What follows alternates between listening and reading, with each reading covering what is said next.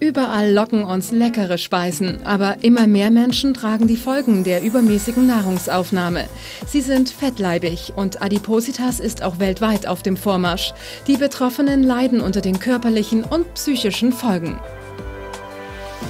Also Adipositas ist eine Erkrankung, die in Deutschland und auf der ganzen Welt gerade immer häufiger vorkommt und die multifaktoriell bedingt ist. Das heißt also, es gibt ganz viele verschiedene Ursachen, die dazu führen.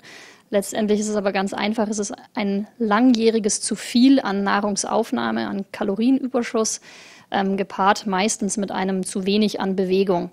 Es ist so also, dass man nicht nur dick wird, dass man also kosmetisch vielleicht nicht mehr so ausschaut, wie man möchte, sondern dass man auch Folgeerkrankungen entwickeln kann.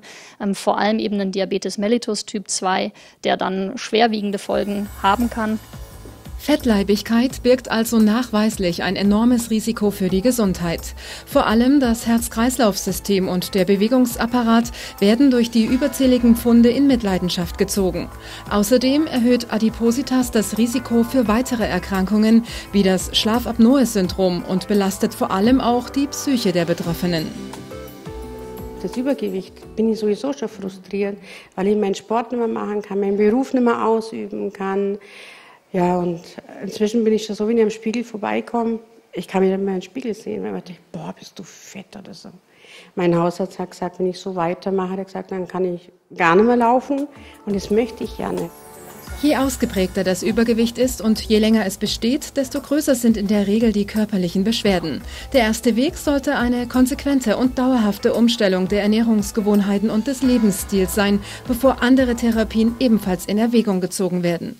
Also es ist so, dass wir bei den Patienten, die tatsächlich alle konservativen Maßnahmen ausgeschöpft haben, also jetzt auch nicht nur selber mal zwei Wochen weniger gegessen haben, sondern die tatsächlich ärztlich begleitet über mindestens sechs, besser zwölf Monate eine konservative Therapie gemacht haben, die immer aus drei Säulen besteht, also aus Ernährungstherapie, aus Bewegungstherapie und Verhaltenstherapie.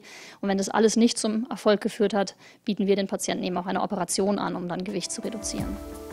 Eine Verkleinerung des Magens führt zu einem früheren Sättigungsgefühl und in der Regel zu einer geringeren Größe der Mahlzeiten.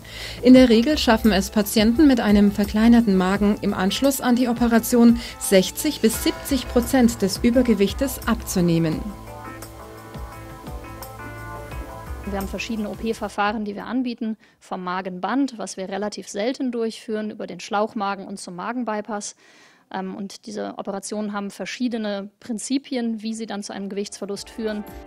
Und für die Patienten beginnt nach einer Operation oft ein völlig neues Leben. Ich kann jetzt shoppen gehen, äh, wenn man Größe 54, 56 hatte und jetzt auf einmal auf 48, 50 ist und es geht noch weiter runter, kann man schon stolz sein.